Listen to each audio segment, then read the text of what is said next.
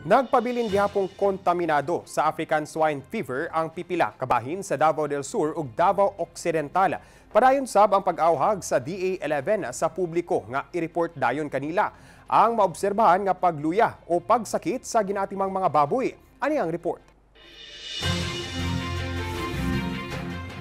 Sa gipagula nga Public Advisory number 02 sa Municipal Government sa Magsaysay Davao del Sur ning adlaw September 29 gi-classify na isip green puroks ang purok 3 ug 4 sa barangay Barayong ug ang purok 2, 3, 4 ug 5 sa barangay Mabini. Human nga gitangtang na ang gipatuman nga lockdown tungod sa bahad sa African swine fever kon ASF.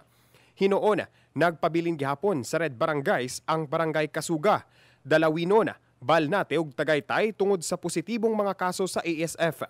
Diri sa magsaysay no na ay mga red areas nga naagi dito ang mga positive So mao to siya ang modified lockdown namo kadto nga mga area nga walay walay ihaw sa baboy, wala tanan kay para dili mo spread ang ESF.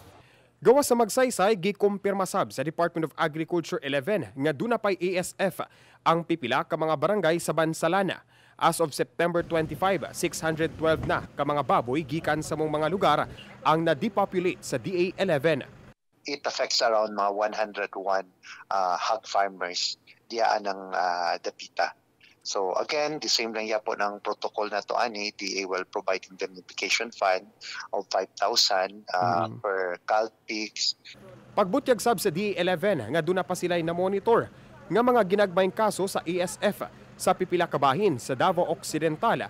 Busa dili pa nila madeklara nga ESF free ang maong probinsya na mga pa mga sporadic meaning to say ginagmay na lang ba no mm. we, we cannot really call it an outbreak na kanang murag dakan gyud kayo so kumbaga murag na salin-salin na lang pud ni sa mga kuan sa una Sublisab nga nagpasidaan ng buhatan sa publiko nga likayan ng pagdala og karne nga gikan sa mga lugar nga dunay kumpirmadong kaso sa ASF aron nga dili na kini mukatag pa sa ubang bahin sa Davao Region.